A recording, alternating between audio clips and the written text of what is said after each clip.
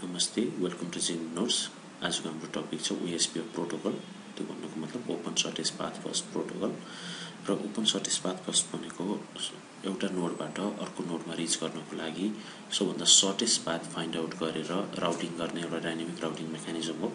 र यो link state routing मेकानिजममा बेस भएको एउटा राउटिङ प्रोटोकल हो। लिङ्क स्टेट राउटिङ मेकानिजमको बारेमा हामीले प्रिभियस भिडियोमा स्टडी गरिसकेको छौँ। र अब यो जुन लिङ्क स्टेट राउटिङ मेकानिजममा बेस भएर कहाँ ओएसपिएफले अपरेट गर्छ भन्नुको मतलब सर्टेस्ट पाथ ट्री कम्प्युट गरेर त्यो सर्टेस्ट पाथ ट्री कम्पिटिसन भनेको हाम्रो त एक्स्ट्रा अल्गोरिथम युज गरेर कम्पिटिसन गर्छौँ भन्ने कुरा हामीलाई पहिल्यै पनि थाहा छ। र यो ओएसपिएफ भनेको एउटा वाइडली युज र एकदम पपुलर इन्टरडोमेन राउटिङ प्रोटोकल हो। र यो आरआइपी भन्दा चाहिँ बेटर छ भनेर भन्छौँ। डिफ्रेन्ट कुरामा चाहिँ हामीले यसलाई कम्पेयर गर्न सक्छौँ। एउटा भनेको स्किलेबिलिटी इस्यु आरआइपी लङ्गर डिस्टेन्सहरूमा अथवा लार्जर साइज अफ नेटवर्कहरूमा चाहिँ हामी आरआइपी युज गरेर राउटिङ गर्न सक्दैनौँ भने ओएसपिएफ भनेको स्केलेबल छ। एउटा अटोनोमस सिस्टममा चाहिँ जति यति नै लिमिटेड नम्बर अफ नोडहरू हुनुपर्ने भन्ने त्यस्तो चाहिँ कुनै रिक्वायरमेन्ट छैन यसमा। र अर्को कुरा भनेको आरआइपीले हब काउन्टको बेसिसमा राउटिङ गर्थ्यो भने अलवेज हब काउन्टको बेसिसमा मात्रै राउटिङ गर्दाखेरि चाहिँ बेस्ट सिनारी नहुनसक्छ अप्टिमल राउटिङ डिसिजनहरू लिने सिनारी नहुनसक्छ। र त्यही भयो त्यो रिजनले गर्दा ओएसपिएफले चाहिँ एउटा नोडबाट अर्को नोडमा रिच गर्नको लागि कति कस्ट लाग्छ त्यसको बेसिसमा चाहिँ सबभन्दा सर्टेस्ट कस्ट भएको पाथलाई नै बेस्ट पाथ भनेर सेलेक्ट गर्छ। त्यो त्यो सर्टेस्ट पाथ भन्नुको मतलब अथवा लिस्ट कस्ट पाथ भन्नुको मतलब चाहिँ कति ब्यान्डविथ प्रोभाइड गरिरहेको छ त त्यो लिङ्कले भनेर चाहिँ हामीले त्यो ब्यान्डविथ अनुसार चाहिँ हामी त्यसरी क्यालकुलेट गर्छौँ। यो भनेको लिङ्क स्टेट राउटिङ मेकानिजममा हामीले पढिसकेको कुरा हो। र एउटा इक्जाम्पल छ यहाँ यो सिनारियो किन चाहिँ आरआइपी भन्दा ओएसपिएफ बेटर छ त भन्ने कुरा एउटा सिम्पल इलिस्ट्रेसन छ। यो ट्राभलिङ सेल्सम्यान प्रब्लम जस्तै एउटा सिनारियो छ। सपोज एउटा पर्सन चाहिँ सिटी एबाट सिटी एमसँग ट्राभल गर्नुपर्ने छ। दुईवटा रुटहरू अभाइलेबल छ अरे। र दुईवटा रुटहरूमा एउटा भनेको पहिला सिटी बीमा अनि सिटी सीमा अनि सिटी एममा त्यसरी ट्राभल गर्ने बिआर सिटिज बिएनसी त्यसमा चाहिँ डिस्टेन्सहरू यहाँ दिइरहेको छ। सपोज ए टु बी चाहिँ टेन माइल्स अनि B to C five miles अनि C to M ten miles छ भने टोटल ट्वेन्टी फाइभ माइल्स लाग्ने भयो यो पाथबाट। अर्को पाथ हामीसँग छ travel BR city F A to F F to M त्यति ट्राभल गर्दाखेरि चाहिँ ए टु एफको कस्ट भनेको अथवा डिस्टेन्स भनेको ट्वेन्टी माइल्स अनि एफ टु एमको कस्ट भनेको टेन माइल्स भनेको टोटल थर्टी माइल्स भयो। अब यही दुइटा पाथहरूलाई कम्पेयर गर्ने हो भने यदि आरआइपीको सिन बेसमा चाहिँ हामीले राउटिङ डिसिजन लिन्थ्यौँ भने नम्बर अफ इन्टरमिडिएट नोडहरू मात्रै काउन्टर काउन्ट गर्दाखेरि चाहिँ अभियसली एएफएम यो चाहिँ सर्टेज काउन्ट यसमा कम हुन्थ्यो। यसलाई चाहिँ बेस्ट पाथ भनेर सेलेक्ट गर्थ्यो। तर longer number of intermediate node धेरै हुँदा हुँदै पनि जस्तो A to B to C to M भन्दाखेरि चाहिँ काउन्ट धेरै हुँदा हुँदै पनि कस्ट भनेको चाहिँ हाम्रो सर्टेज पाथभन्दा जुन हाम्रो सर्टेज अफ काउन्ट भएको पाथभन्दा चाहिँ लेस देखिरहेको छौँ। यो रिजनले गर्दा पनि यो फर्स्ट पाथ चाहिँ बेटर हुन्छ भनेर चाहिँ हामी सेलेक्ट गर्न सक्छौँ।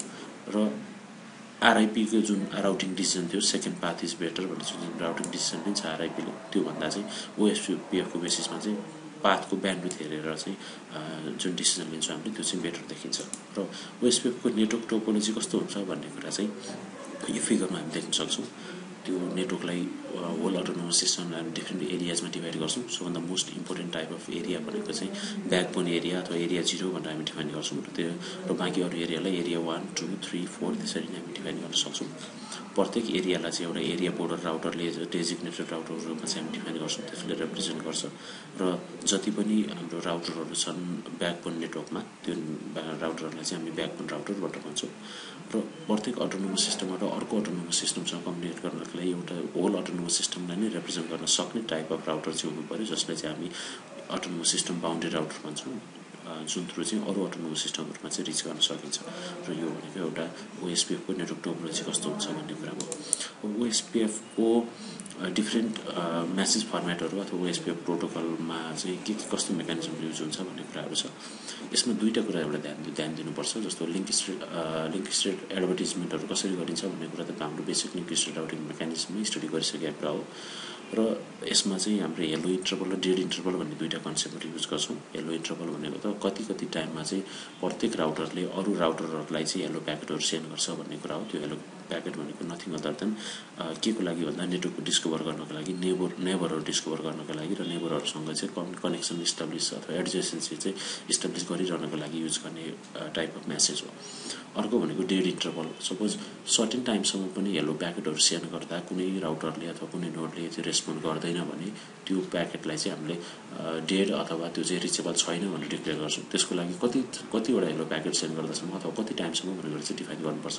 जसलाई चाहिँ हामी डेड इन्टरभल भनेर भन्छौँ। र यो dead interval suppose forty seconds भनेर चाहिँ एउटा डेड इन्टरभल चाहिँ असाइन गर्यो भने र हेलो हेलो इन्टरभल भनेको टेन सेकेन्ड्स भनेर डिफाइन गर्यो भने फोर्टी सेकेन्ड्समा चाहिँ चारवटा हेलो प्याकेटहरू सेन्ड गरिन्जेलसम्म पनि यदि त्यो हेलो प्याकेटहरूको एक्नोलेजमेन्ट आएन भने अथवा कुनै रेस्पोन्स आएन भने चाहिँ हामी त्यो नोटलाई डेड हो भनेर चाहिँ डिक्लेयर गर्न सक्छौँ। त्यो यो दुईवटा इन्टरभलहरूको टाइमरहरू राखेर चाहिँ यसरी कुनै नोड अलाइभ छ कि छैन अथवा स्टिल रनिङ छ कि छैन अथवा रिचेबल छ कि छैन भने चाहिँ हामी आइडेन्टिफाई गर्न सक्छौँ। एउटा यो फर्स्ट भनेको हेलो प्याकेट एउटा मेसेज टाइप भयो ओएसपिएफको नेक्स्ट भनेको डेटाबेस डिस्क्रिप्सन डेटाबेस डिस्क्रिप्सन भनेको चाहिँ सिम्पली राउटरहरूको बिचमा चाहिँ आफ्नो लिङ्क स्टेट इन्फर्मेसन अथवा लिङ्क स्टेट डेटाबेस भनेर जुन मेन्टेन गर्छ हामीले त्यो लिङ्क स्टेट डेटाबेसको इन्फर्मेसन चाहिँ अर्को राउटरलाई प्रोभाइड गर्ने लिङ्क स्टेट इन्फर्मेसन अर्को राउटरलाई प्रोभाइड गर्ने मेसेज फर्मेट भनेको डेटाबेस डिस्क्रिप्सन भनेर भन्छौँ हामी। नेक्स्ट भनेको लिङ्क स्टेट रिक्वेस्ट कुनै एउटा राउटरलाई अर्को राउटरको चाहिँ राउटिङ इन्फर्मेसन चाहियो भने त्यति बेला चाहिँ त्यो उसले link state request message send गर्छ। भनेको request specific link state records from from another router भनेर भनिरहेको छ। अर्को राउटरलाई चाहिँ उसको लिङ्क स्टेट इन्फर्मेसनहरू अथवा नेटवर्कको इन्फर्मेसनहरू चाहिँ अपडेट गर्नको लागि सेन्ड गर्ने मेसेज टाइप भनेको लिङ्क स्टेट रिक्वेस्ट मेसेज भयो। नेक्स्ट भनेको लिङ्क स्टेट अपडेट यदि कुनै राउटरले लिङ्क स्टेट रिक्वेस्ट सेन्ड गरिरहेको छ भने त्यसलाई अभियसली रेस्पोन्ड गर्नु पऱ्यो अथवा आफ्नो लिङ्क स्टेट इन्फर्मेसन चाहिँ प्रोभाइड गर्नु पऱ्यो त्यो लिङ्क स्टेट इन्फर्मेसन प्रोभाइड गर्ने मेसेज फर्मेट भनेको चाहिँ लिङ्क स्टेट अपडेट मेसेज भनेर भन्छौँ हामी। र अर्को फिफ्थ मेसेज टाइप भनेको हाम्रो लिङ्क स्टेट एडोपेट एक्नोलेजमेन्ट जब कुनै राउटरले अरूले अरूको राउटरले सेन्ड गरेको लिङ्क स्टेट इन्फर्मेसन रिसिभ गर्छ उसले चाहिँ मैले रिसिभ गरेँ भनेर चाहिँ एक्नोलेजमेन्ट प्याकेट सेन्ड गर्नुपर्छ। त्यसलाई चाहिँ हामी लिङ्क स्टेट एक्नोलेजमेन्ट भनेर भन्छौँ। These are the five types of OSP of message types र अर्को बुझ्नुपर्ने कुरा यो ओएसपिएफ प्रोटोकलमा भनेको कसरी चाहिँ लिङ्क स्टेट एडभर्टिजमेन्टहरू गर्छौँ कसरी डिस्ट्रिब्युट गर्छौँ त त्यो भन्ने कुरा हो जेनरली हामी पाँचवटा टाइपमा चाहिँ डिभाइड गर्छौँ यसलाई। पाँचवटा टाइपमा चाहिँ type one LSC type two LSC type three LSC type four LSC र टाइप फाइभ एलएससी भनेर पाँचवटा टाइपमा डिभाइड गर्छौँ।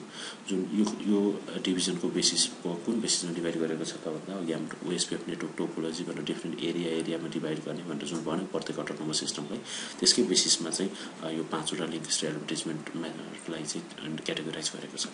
र पहिलो कुरा टाइप वान एलएससी भनेको एउटा एरियाभित्रको राउटरहरूको बिचमा कम्युनिकेट हुने नर्मल राउटरहरूको बिचमा चाहिँ जुन लिङ्क स्टेट एडभर्टिजमेन्टहरू चाहिँ एक्सचेन्ज हुन्छ त्यसलाई हामी टाइप वान एलएसए भनेर भन्छौँ।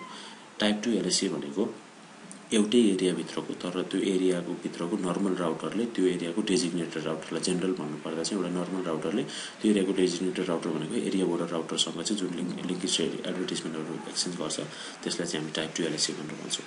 टाइप थ्री एलएसए भनेको एउटा एरियाको अटो एरिया बोर्डर राउटरले अर्को एरियाको एउटा एरिया बोर्डर राउटरसँग भनेको आफ्नो एरियाभन्दा बाहेकको अर्को एरियाको यदि राउटिङ इन्फर्मेसन चाहियो भने त्यस्तो कन्डिसनमा चाहिँ एरिया बोर्डर राउटरहरूको बिचमा चाहिँ हामीले लिङ्क स्टेट एडभर्टिजमेन्टहरू गर्छौँ र त्यो भनेको चाहिँ हाम्रो टाइप थ्री एलएसए हो।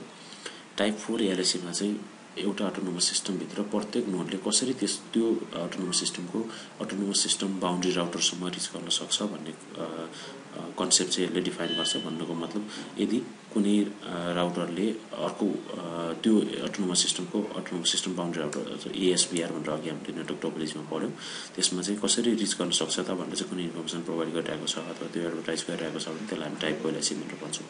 र टाइप फाइभ एलएससी भनेको एउटा अटोनोमस सिस्टमबाट अर्को अटोनोमस सिस्टममा रिच गर्नको लागि अथवा external to the autonomous system भनेर जुन भन्छौँ एउटा एउटा अटोनोमस सिस्टमको अटोनोमस सिस्टम बााउन्ड्री राउटरले अर्को अटोनोमस सिस्टमको अटोनोमस सिस्टम बााउन्ड्री राउटरलाई यदि कुनै लिङ्क स्टेट एडभर्टिजमेन्ट अथवा लिङ्क स्टेट इन्फर्मेसनहरू सेन्ड गर्छ भने त्यसलाई चाहिँ हामी टाइप फाइभ एलएसए भनेर भन्छौँ।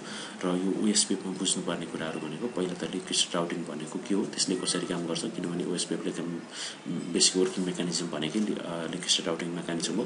त्यस पछाडि ओएसपिएफको नेटवर्क टोपोलोजी कस्तो हुन्छ अब एसपिएफको मेसेज टाइपहरू कस्तो हुन्छ र लिङ्क एडभर्टिजमेन्टहरू कस्तो कस्तो टाइपको हुन्छ भन्ने कुराहरू बुझ्नुपर्छ थ्याङ्क यू फर वाचिङ